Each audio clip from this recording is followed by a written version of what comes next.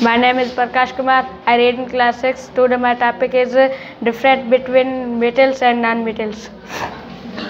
Metals usually salts at room temperature, mostly high melting and boiling point, good conductors of heat and electricity, often shiny, ductile and malleable.